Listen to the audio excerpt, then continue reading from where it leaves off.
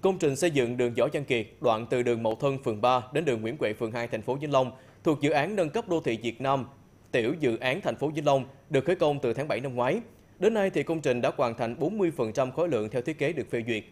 Hướng đến kỷ niệm 100 năm ngày sinh Thủ tướng Chính phủ Võ Văn Kiệt vào tháng 11 tới, hiện đơn vị thi công đang tập trung thi công, phấn đấu thông xe kỹ thuật vào tháng 11 tới. Đến nay, đơn vị thi công đã hoàn thành phần khuôn đường, nền đường, hệ thống thoát nước dọc, sang lắp nền cát và thi công trên 30% hạng mục trải đá cát phối.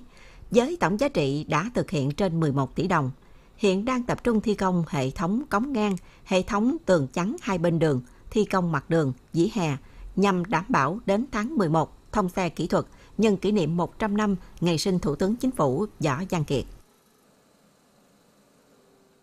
Thời gian tới là ờ, đội thi công nhà thầu chúng tôi là tập trung xe máy, vật tư và nhân lực để ờ, thi công đảm bảo ờ, tiến độ. Thời tiết hiện nay nó rất khó khăn, nhưng mà nhà thầu là anh em tôi cũng hết sức làm theo phương án cuốn chiếu và làm nền đường và kết hợp với vỉa hè để kịp ngày kỷ niệm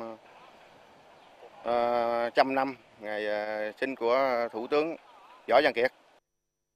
Công trình xây dựng đường Võ Văn Kiệt, đoạn từ đường Mậu Thân phường 3 đến đường Nguyễn Huệ phường 2 thành phố Vĩnh Long do Ban Quản lý dự án ODA tỉnh Vĩnh Long làm chủ đầu tư.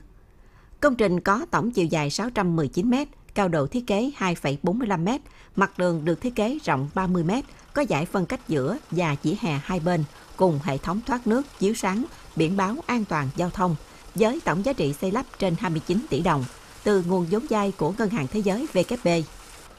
Công trình sau khi hoàn thành và đưa vào khai thác sẽ góp phần hoàn thiện tiêu chí đường đô thị của thành phố Vĩnh Long theo chuẩn đô thị loại 2, tạo điều kiện để người dân đi lại giao thương hàng hóa, tạo cảnh quan đô thị cho thành phố Vĩnh Long.